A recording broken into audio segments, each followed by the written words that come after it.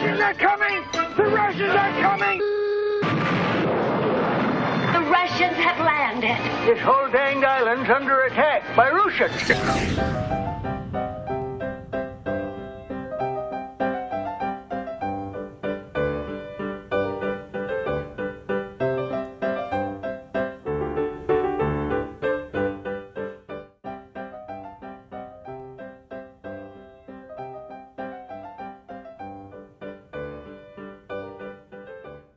When I think about the greatness of Russia, I think about three items vodka, literature, and chess. Fortunately, we've invited three actual real live Russians to come talk to us today about these elements and to give us insights into the greatness of their country.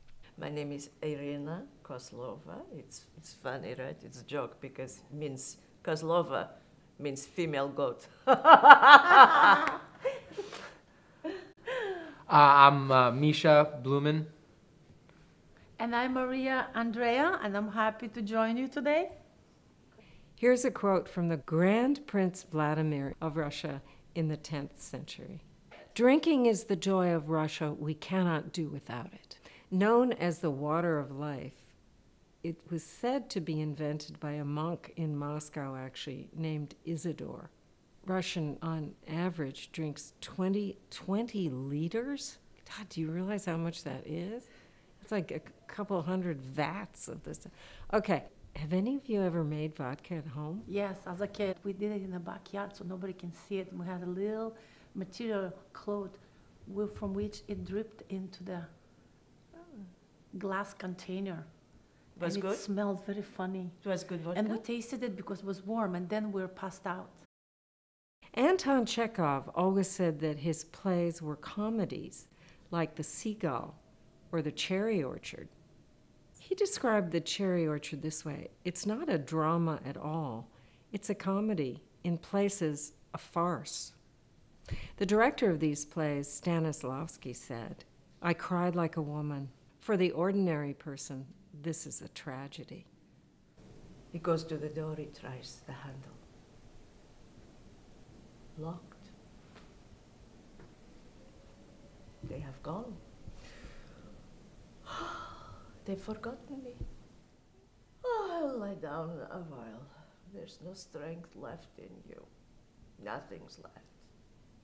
Nothing. you. Nincompoop.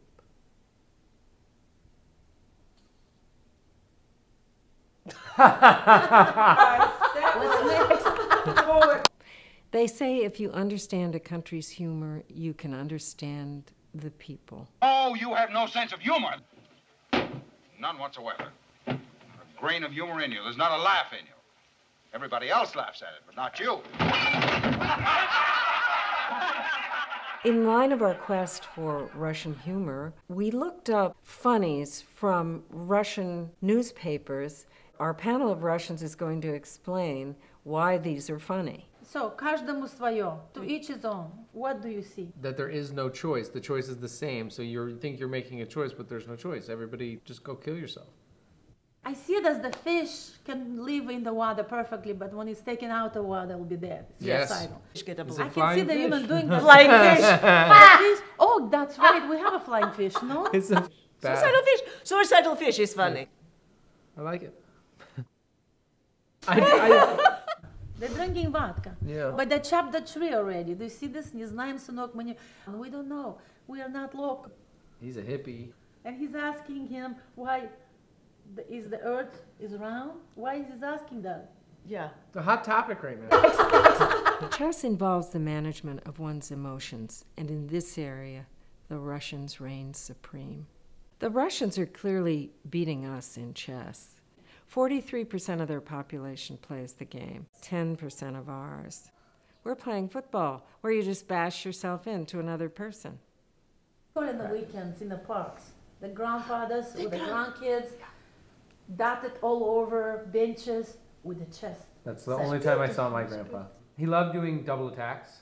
So he would always, he would, anytime there was an opportunity to set up a double attack, he would. What Um, is it? It's when you move two of your pawns up uh, center, and so you attack the center because when they try to come at you in the middle, you now have them trapped on both sides. Like Putin. Wow, smart. It's it's also known as the Putinator.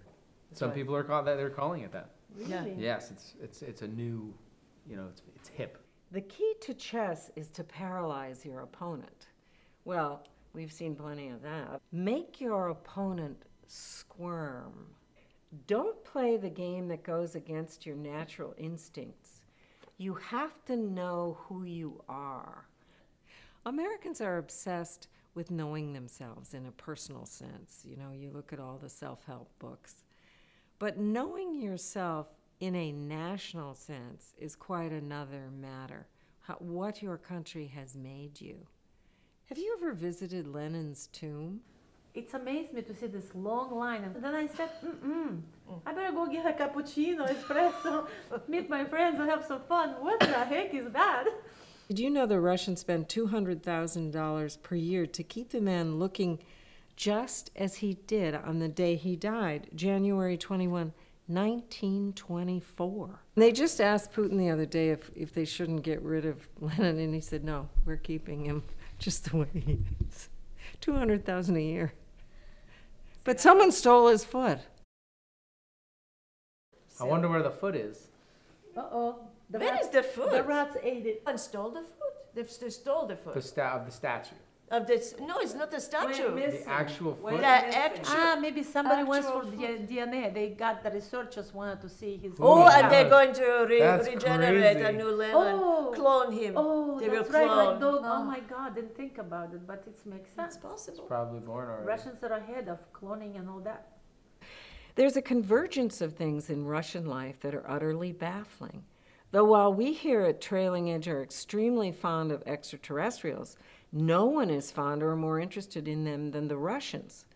We will leave you all with a recent headline World Chess President claims he was abducted by space aliens and they invented chess.